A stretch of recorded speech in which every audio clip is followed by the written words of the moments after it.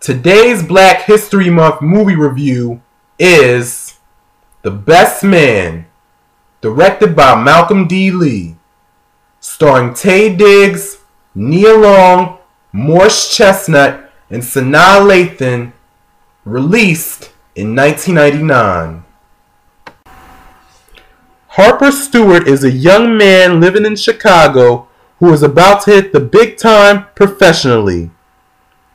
His debut novel, ominously titled Unfinished Business, has been selected by Oprah's Book Club. He has a beautiful and devoted girlfriend, Robin, and his best friend Lance is getting married on the weekend in New York. In an early scene with Harper and Robin lounging in a tub, it becomes clear that all is not well. Robin merely sighs contentedly and idly mentions that she could stay like this forever.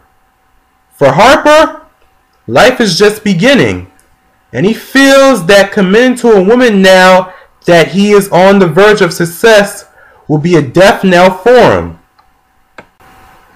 To complicate matters further, Harper's new book, which is autobiographical, has fallen into the wrong hands. Jordan an old woulda, coulda, shoulda flame of Harper's has read an advanced copy that seems to be working its way through Harper's inner circle. Coincidentally, the other members of the wedding party. It was never intended by Harper for the group of friends to read the book prior to the wedding weekend. But with Jordan being in the position that she is at work, she is able to get an advanced copy. That copy is then passed around amongst the friends and eventually makes its way to Lance, which Harper tries to prevent from reading the book. In the novel are several unsavory fictionalized characterizations of Harper's real life friends during their college years. These friends all take it in good stride when they talk to Harper face to face but their hurt causes at least one of them to want to teach Harper a lesson.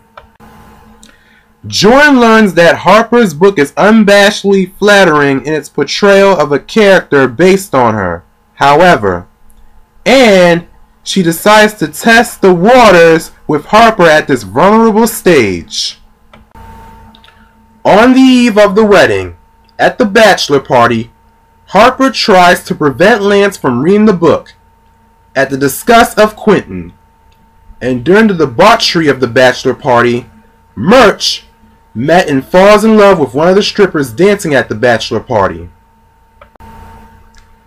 Once Lance reads the book, there is pressure on the group to make sure that the wedding between Lance and Mia still takes place, even with the help of Robin. Through faith and prayer, the wedding goes on, but the friendship of Lance and Harper and the relationship of Harper and Robin is in questions until Harper gives the speech of the best man during the wedding toast. It is after that at the reception, with the assurance of Jordan, that Harper proposes to Robin. It is later revealed that after the wedding, Quentin and Shelby who was Murch's girlfriend, may have slept with each other.